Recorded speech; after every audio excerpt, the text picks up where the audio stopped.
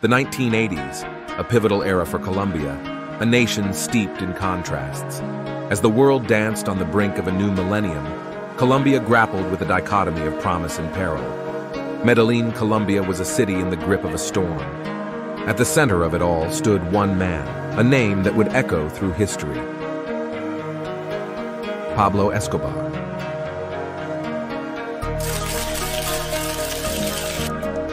Pablo Emilio Escobar Gaviria was born on December 1, 1949, in Rionegro, Antioquia, Colombia. His family later moved to the suburb of Envigado. He was the third of seven children born in poverty to a schoolteacher mother and a peasant farmer father. From an early age, Escobar packed a unique ambition to raise himself up from his humble beginnings and dreamed of becoming the president of Colombia one day. Escobar reportedly began his life of crime early, stealing tombstones and selling phony diplomas. It wasn't long before he started stealing cars, then moving into the smuggling business.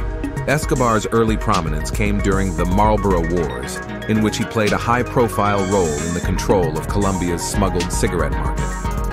Beginning in the early 1970s, Colombia became a prime smuggling ground for marijuana. But as the cocaine market flourished, Colombia's geographical location proved to be its biggest asset.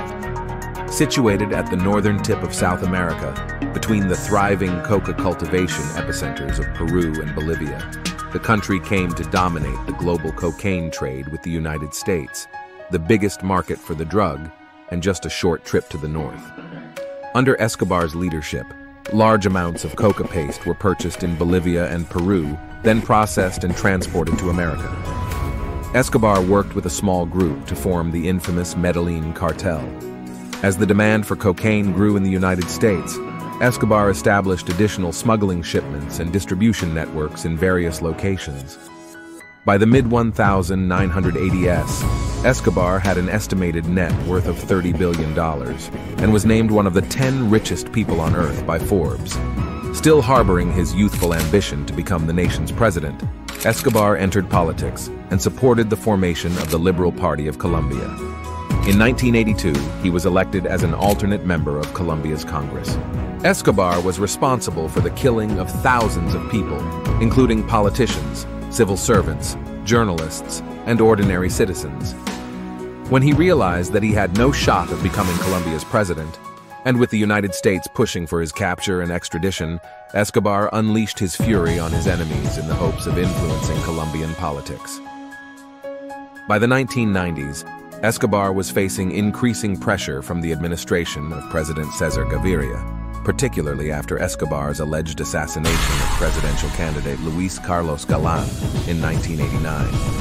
In June 1991, Escobar negotiated a surrender to Gaviria's government in exchange for a reduced sentence and preferential treatment during his captivity.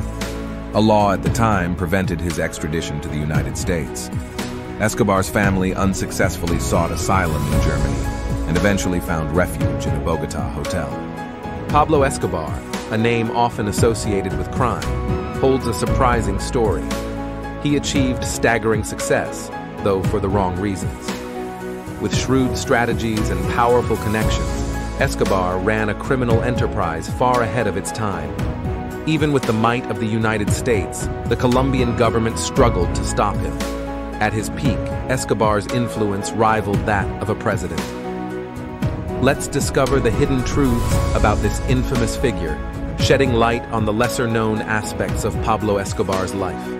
At 26, Pablo Escobar got married. Pablo Escobar entered a new chapter in his life, exchanging vows. The story takes an unexpected turn when, in the town of Envigado, Colombia, he encounters Maria Victoria Henao, a mere 13 years old. Their remarkable journey continues as, at the age of 15, Maria Victoria Henao becomes the wife of the 26-year-old Escobar. Pablo Escobar's son is named Juan Escobar. In a curious twist of fate, Juan Pablo Escobar Henao, the son of Pablo Escobar, made a profound decision.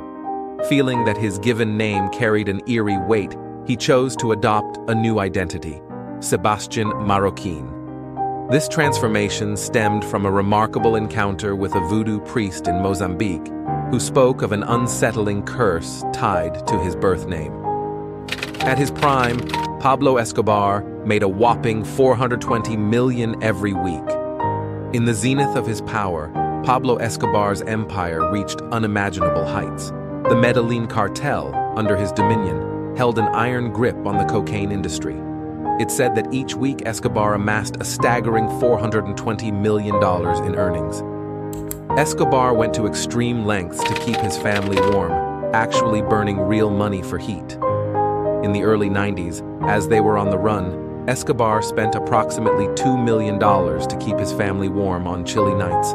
They frequently changed locations, and to maintain secrecy, Pablo would occasionally blindfold his family every other day so they wouldn't know their whereabouts. Pablo Escobar owned a multitude of properties.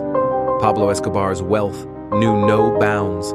He possessed a vast fleet of airplanes, helicopters, and yachts, complemented by an array of luxurious houses scattered across the country. Colombian authorities, in their efforts to dismantle his empire, laid claim to a staggering haul 141 houses, 142 planes, 20 helicopters, and 32 yachts. In 1991, Pablo Escobar surrendered himself to the government. As part of this agreement, Escobar would be confined to a prison of his own making, famously known as La Catedral. La Catedral, Pablo Escobar's personally designed prison, boasted a commanding view of Medellin. Despite its intended purpose, this self-built prison was more akin to a lavish retreat. It featured opulent amenities, including entertainment facilities, a football pitch, a bar, a jacuzzi, and even a colossal dollhouse, purportedly frequented by escorts. Pablo Escobar was captured in a photograph taken at the White House. Pablo Escobar's journey into the world of cocaine began in the early 1970s in collaboration with his cartel associates. Surprisingly, there exists a rare photograph of Escobar and his family, taken in 1981, standing in front of the White House, just as civilians. Around the same time, Escobar treated his family to an unforgettable first-class trip to Disneyland. Escobar bought heaps of rubber bands to keep his money in order. Pablo Escobar faced a unique challenge. He couldn't deposit all his wealth in banks. To tackle this, he resorted to an unusual solution, spending over $2,500 every month on rubber bands just to secure his cash. This intriguing detail stands out as one of the more unconventional facts about Pablo Escobar. Escobar was not so lucky. Colombian law enforcement finally caught up to the fugitive Escobar on December 2, 1993, in a middle-class neighborhood in Medellin. A firefight ensued, and as Escobar tried to escape across a series of rooftops, he and his bodyguard were shot and killed. Escobar had just turned 44 years old the previous day.